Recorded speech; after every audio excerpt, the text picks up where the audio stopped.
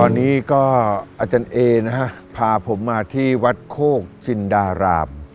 เราคุยกันมาเรื่องของพระกริ่งครับคลองตะเคียน คราวนี้เนี่ยไฮไลท์ที่สุดก็อยู่ที่วัดโคกจินดารามนะครับอยู่ริมคลองตะเคียนท่านผู้ชมก็เดี๋ยวจะเห็นอยู่ข้างหน้าข้างๆนี่แหละ ที่นี่เนี่ยนะครับต้องถือว่าเป็นแหล่งใหญ่ที่สุดใช่ไหมใช่ครับที่มีการต้นกำเนิดต้นกำเนิดของกริ่งคลองตะเคียนที่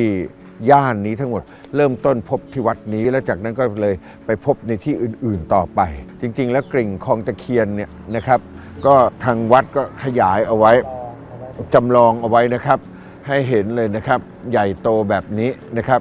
แล้วก็มีจุดอันนี้คือจุดก็คือหมายถึงใบโพ9จุดนะครับล้อมรอบ แล้วก็เป็นปางมารวิชัยนะฮะมือขวาจับเข่าลงไปถึงพื้น ฐาน 3 ชั้นนะครับอันนี้ก็จะเป็นกริ่งคลองตะเคียนก็อันเนี้ยต้องบอกว่าตื่นเต้นนะครับเพราะว่าที่นี่เป็นจุดเริ่มต้น อาจารย์เอเล่าหน่อยก็แล้วกัน เพราะว่าตรงนี้ผมไม่มีความรู้เลย ต้องบอกอย่างนี้ครับอาจารย์ที่เนี่ยที่วัดโคกจินดารามเนี่ยแต่เดิมเนี่ยเขาเรียกว่าวัดโคกแขกอ๋อเพราะว่าล้อมรอบด้วยอิสลามไม่มี 360 องศา แล้วฝั่งตรงข้ามแล้วก็เป็นมัสยิดนี่นะครับมีคลองตะเคียนผ่ากลางแบ่งเออขั้นระหว่างเขาเรียกแบ่งวัดแบ่งความเชื่อนะแบ่งความเชื่อทางศาสนาแค่นั้นเองสองศาสนา พอหลังจากที่มีการค้นพบพระกริ่งคลองตะเคียนคลองตะเคียนเนี่ยในบริเวณนี้แล้วเขาก็เลยเป็นวัดกริ่งตะเคียน อ๋อเปลี่ยนชื่อจากวัดโคกแขกเป็นวัดกริ่งตะเคียน นี่ก็ดึกดำบรรพ์แล้วสิชื่อเก่าครับอ่าแล้วจากนั้นถึงน่ะ จะมาเปลี่ยนเป็นวัดโคกจินดารามในเอ่อสมัยหลังนี้เองครับอ๋อ ไม่นานครับทีนี้ที่มาที่ไปต้องบอกนี่ครับว่าเอ่อวัดนี้สันนิษฐานว่าสร้างในช่วงก่อนเสียกรุงศรีอยุธยาครั้งที่ 2 ราวพศ 2300 แล้วต่อมาก็เป็นวัดร้างไปอยู่ระยะหนึ่งนะครับพอมาในช่วงประมาณรัชกาลที่ 4 ก็มีเสียงลือเสียงเล่าอ้างว่าเจดีย์ที่วัดเนี้ยกรุหนึ่ง ที่อยู่ริมน้ำนะซึ่งเราไม่เห็นซากแล้วเกิดพังทลายลงมาเอออ่าพังทลายลงปุ๊บเขาก็เลยเจอพระเครื่องเป็นจำนวนมากเออนะครับซึ่งมีเขย่าและมีเสียงก็เลยเรียกพระพระกริ่งของตะเคียน เป็นพระเครื่องก็คือเป็นแต่ว่าที่กริ่งพิเศษก็คือเป็นพระกริ่งดินเผาครับ นะฮะแล้วก็มีคนก็เอาจากวัดนี้แหละนะครับ ไปทุบดูครับ พอทุบดูเสร็จก็เจอว่าข้างในเนี่ยเสียงที่มันดังก็แก๊กก็แก๊กเนี่ยมันดังมาจากเม็ดพุทธรักษา ก็เลยเป็นที่มาว่า เออกริ่งคลองตะเคียนเนี่ยนะครับบรรจุเม็ดพุทธรักษาชื่อก็เป็นชื่อมงคลนะฮะพุทธรักษาธรรมรักษา สังฆรักษาสารพัดเนี่ยนะฮะก็จะใส่เม็ดพุทธรักษาเม็ดแก่ จะแข็งแล้วก็ดำ นะครับวัดนั้นก็เลยเปลี่ยนจากวัดโคกแขกเนี่ยกลายเป็นวัดกริ่งตะเคียนอ๋อพอสังกัดที่ 4 มาก็เลยเป็นวัดกริ่งตะกริ่เคีงยน ตะเคียนอ๋อนะครับ แล้วพอกู่แตกเนี่ยพระไม่ได้มีจำนวนเยอะ มันก็เกิดตามเกิดการตามหากันเพิ่มเติมมากขึ้น ใช่ นี่พอเรียกไปตามริมคลองเนี่ยปรากฏว่าไม่ได้มีที่วัดนี้วัดเดียว เจอตามพื้นที่ริมคลองตะเคียนอีกหลายวัดวัดก็ทำให้ไงนะชื่อของพระก็เลยไม่มีวัดนำหน้า มันทั้งหมดมันไม่เนี่ยกลายว่ามันไม่มีต้นกำเนิดที่ชัดเจนว่ามาจากวัดไหน ใช่ พิมพ์ที่เราพบที่นี่ก็ถือว่าเป็นรุ่นแบบพิมพ์นิยมครับอาจารย์มีเพราะมีทั้งพระกิ่งหน้าใหญ่หน้าเล็ก มีหน้ามงคลและที่สำคัญมีพระกิ่งแบบปิดตาด้วยอ๋อเออมีปิดตาด้วยถือว่าเป็นเป็นรุ่นพิเศษที่เราพบในในกรุนี้กลุ่ที่วัดอ๋อกริ่งปิดตา ใช่ครับ คือจริง ๆ แล้วเนี่ยอันนี้เป็น ตัวอย่างที่พระจำลองเอาไว้เนี่ยนะฮะเป็นเพียงแค่หนึ่งในหลายเป็น 10 พิมพ์เลยนะสิบแบบเลยนะครับ แบบพระเศียรใหญ่พระเศียรเล็ก พระเศียรโตพระเศียรหน้ามนหน้ากลมอะไรต่างๆเนี่ยนะครับเพราะฉะนั้นเนี่ยจริงๆ แล้วตอนนี้กริ่งบางตะเคียนก็เป็นของที่หายาก แต่บางท่านเขาก็มีข้ออาข้อโต้แย้งนะครับ อาจารย์เมื่อกี้ที่อาจารย์บอกว่าเป็นลักษณะเป็นปลกโพ อันนั้นก็เป็น เอ่อเป็นกลุ่มที่เขาเชื่อว่าเป็นปลกโพอืมแต่มีกลุ่มหนึ่งบอกว่าไม่ใช่มาจากกริ่งเนี่ยมันมีรากมาจากพระเขมรน่าจะเป็นพระนาคปรก เพราะเนี่ยเขาก็บอกเนี่ยขนดนาคสามชั้นขึ้นไปแล้วเป็นเสียนนาคเก้าเสียนโอ้ก็มีเป็นไปได้นะครับครับเออมีสองกระแสอันนี้ก็คือกลายเป็นขนดนาคครับหนึ่งครับชั้นสองชั้นสามชั้นครับและข้างบนที่เป็นเสียนนาคนั่นก็คือเสียนนาคครับทั้งหมด9เสียนครับเออไม่มีผิดไม่มีถูกเป็นไปได้ใช่ทั้งสองแบบเพราะพระองค์นิดเดียว ทีนี้ เราจะพาท่านผู้ชมไปเดินชมนิดหนึ่งก็แล้วกันว่าครับวัดนี้เนี่ยนะครับ แม้ว่าจะเป็นวัดร้างในวัดสมัยอยุธยาแต่ก็ถูกทิ้งร้างครับในเนี่ยประมาณรอสามรอสี่ก็มีการสร้างเราอยู่ด้านหลังของพระอุโบสถนะฮะอันนี้ด้านหลังเนี่ยก็หน้าบันเนี่ยนะครับ ก็เป็นลายปูนปั้น ตอนนี้ก็ทำสีใหม่อะไรต่างๆ ใส่กระเบื้องจันเชิง อันนี้จันเชิงที่เห็นทั้งหมดเนี่ยเป็นของใหม่ รัตนโกสินทร์ปัจจุบันเป๊ะเลยนะฮะทำขึ้นมาแทนกระเบื้องชานจันเชิงของโบราณนะครับก็คงชำรุดไป วัดก็ลงสีสัน colorful มากเลยนะฮะนี่มีสารพัดสัตว์อยู่ตามโขดหินต่างๆ ข้างล่าง ก็เป็นอิทธิพลของศิลปะจีน เป็นพระราชนิยมตั้งแต่รัชกาลที่ 3 หรือจริงๆ แล้วมีตั้งแต่อยุธยานะครับ เรามาดูหน้าโบสถ์นิดหนึ่งนะครับท่านผู้ชมครับ จริงๆ แล้วเนี่ยก็มีร่องรอยความเป็นอยุทยาปลายอยู่ก็คือการใช้ใบเสมาก่อสูงที่เรียกว่าใบเสมาแบบนั่งแท่นอืมนะครับนะก็ฐานเนี่ยนะครับเป็นฐานหน้ากระดานแล้วก็ฐานสิงห์นะครับแล้วก็มีหน้ากระดานอีกชั้นหนึ่งแล้วก็เป็นดอกบัวตูม แล้วก็ตั้งใบเสมา ใบเสมาอาจจะมารุ่นหลังนิดนึงนะครับ แต่ว่าทรงทั้งหมดฟอร์มทั้งหมดของฐานเนี่ยก็เป็นฐานเสมาเดิมนะครับท่านผู้ชมครับ ที่นี่ก็จะมี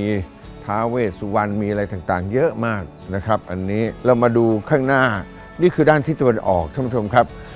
วัดนี้เนี่ยเป็นรูปแบบอยุธยาแท้ๆก็คือว่าขึ้นด้านข้าง ขึ้นซ้ายขึ้นขวานะครับ แล้วก็มีชายคาพาลัยยื่นออกมาข้างหน้าเลยนะครับแล้วก็มีเสาลอย 3 ต้น อันนี้ก็คงเสาใหม่แล้วล่ะนะครับ มารองรับชายคาพาลัยนะครับ ข้างบนหน้าบันก็จะเป็นเหมือนกับด้านหลังอะนะครับ ก็ประดับด้วยเอ่อจานเชิงอะไรต่างๆ ทั้งหมดของใหม่หมดแล้วนะครับมีช่องระเบียงนี่น่าสนใจครับอะเพราะมันเป็นอ่าการใช้กระเบื้องเคลือบที่นิยมในรัชกาลที่ 3 นะครับอาจารย์ครับนะ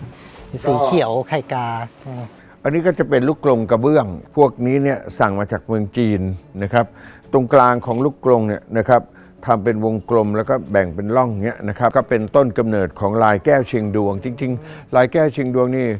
ไม่รู้ว่าจะเกิดที่ไหนละเกิดอินเดียหรือจีนก็ไม่รู้ละนะครับหรือจะเกิดเปอร์เซียก็ไม่รู้ แต่ว่าตรงเนี้ยมันเป็นลายปี้นะครับลายปี้คือลายเหรียญนะครับปี้ก็คือเหรียญนะครับเงินเหรียญของสตังค์ของคนจีน ก็เป็นลายมงคลน่ะแหละอุดมไปด้วยเอ่อทรัพย์สินเงินทองนะครับ อันนี้แล้วก็อยากจะให้ท่านผู้ชมชมครับอาจารย์เอนี่ครับ ท่านผู้ชมครับ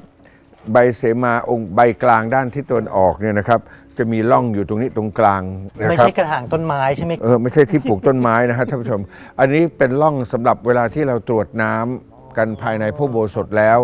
ก็นำน้ำที่ใส่ภาชนะที่ตรวจน้ำแล้วเนี่ยมาเทลงตรงนี้นะครับ ก็เชื่อว่า ใบเสมาตรงกลางด้านหน้าที่ตะวันออกก็เป็นใบหลักสำคัญนะครับ น้ำก็จะลงไปอยู่กับแม่พระธรณีนะครับ แม่พระธรณีก็จะปกปักรักษาเก็บน้ำเอาไว้ ในภายภาคหน้าถ้าเราติดขัดอะไรเราก็อารัธนาแม่พระธรณีขึ้นมาช่วย เหมือนกับที่เจ้าชายสิทธัตถะเรียกแม่พระธรณีขึ้นมาช่วยเป็นพยานในการทำความดี 500 ชาติ แม่พระธรณีขึ้นมาก็นำน้ำที่อยู่ในมวยที่สะสมมาตลอด 500 ชาติ บีบออกสยายลงมาท่วมกองทัพมารล้มตายหมด แล้วจากนั้นเจ้าชายสิทธัตถะก็นั่งสมาธิต่อจนกระทั่งตรัสรู้ นอกจากนั้นเนี่ยนะครับก็จะมีเจดีย์นะครับเจดีย์ทรงเนี่ยเป็นเจดีย์น่าจะรัตนโกสินทร์รัตนะเหรอครับฮเนี่ยครับรัตนโกสินทเพราะว่า อันนี้ครับอาจารย์ทางทางด้านล่างมีมีลักษณะธรรมเหมือนเหมือนตั้งจีนเนี่ยตั้งขรอสามแล้วล่ะครับข้างล่างขาก็เป็นคู่ตั้งขาคูก็เป็นสไตล์รัชกาลที่ 3 ก็จะเป็นเจดีย์สี่เหลี่ยมย่อมุมไม้ 12 นะครับ ฐานสิงห์ชั้น 1 ฐานสิงห์ชั้น 2 นะครับนี่แล้วก็เป็นฐานบัวข้างบน แล้วก็เป็นบัวกลุ่ม เป็นองค์ระฆังมีก้านฉัตรนะครับ แล้วก็เป็นปล้องฉไนขึ้นไป ก็จะเป็นเอ่อบัว 5 ชั้นนะครับ แล้วก็ถึงปลียอดแล้วก็หยาดน้ำค้างข้างบนสุด นะครับไล่ขึ้นไปเลย อันนี้ก็จะเป็น format pattern ของพระราชนิยมรัชกาลที่3นะครับเราก็พาท่านผู้ชมมาชม ต้องบอกว่าวัดต่างๆที่เกี่ยวข้องกับเอ่อกริ่งคลองตะเคียนเนี่ยครับเรียกว่าครบถ้วนนะฮะท่านผู้ชมครับเอ่อวัดหลักๆก็คือพบที่วัดนี้นะครับ นอกจากนั้นก็ยังมีวัดกลางครับแล้วก็ยังมีที่วัดเอ่อวัดช้างช้างเอ่อเป็นต้นนะครับ เพราะฉะนั้นตรงนี้ก็จะกราบลา ท่านผู้ชมแต่เพียงเท่านี้เลยนะครับก็ต้องกราบขอบพระคุณอาจารย์เออย่างยิ่งเลยนะครับอาจารย์เอขอบพระคุณจริงๆนะครับแล้วก็รายการเปิดตำนานกับเผ่าทองก็กราบลาท่านผู้ชมพบกันในสัปดาห์หน้าครับ สวัสดีครับ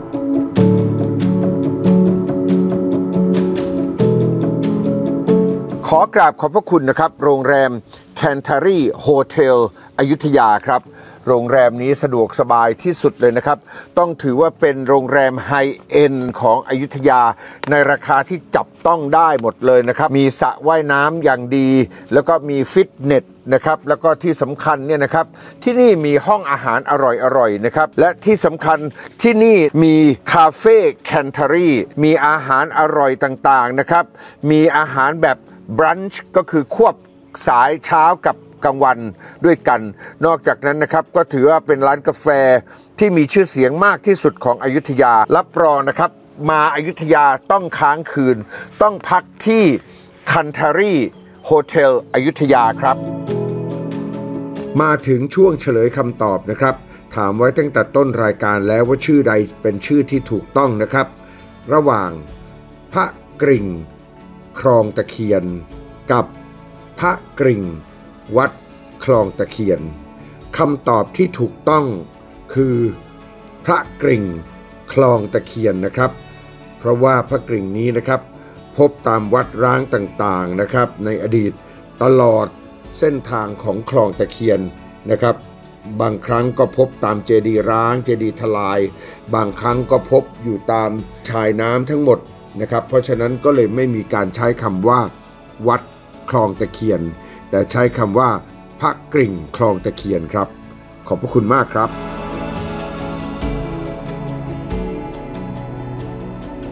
อย่าลืมนะครับ กดไลค์กดติดตามนะครับ เป็นแฟนเพจของรายการเปิดตำนานกับเผ่าทองนะครับ เราจะได้มีกิจกรรมอะไรต่างๆ เยอะมากเลย เปิดตำนานกับเผ่าทองทองเจือครับ ขอบพระคุณมากครับ ได้เอามอบในจอนี่แหละอ่าอ่าอาจารย์ก่อนอาจารย์อะอาจารย์เดก่อนอาจารย์เอรับก่อนเอาอาจารย์เอรับอ่ารับแล้วอาจารย์ขอเป็นพิจารเศษย์บีพิเศษไปแล้วกันโอ้โหเนื้อโอ้โหท่านครับ อันนี้เป็นครับอ่าอ่าอ่าโยมมาโยมเอาอ่ามาแต่มาละคนเข้ามาอ่าคนต่อมาท่านท่านมึงผู้ชรับมแล้วกลับไว้ให้ดีเลย